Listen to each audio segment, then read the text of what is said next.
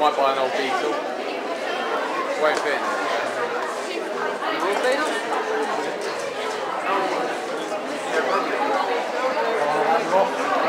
Yeah,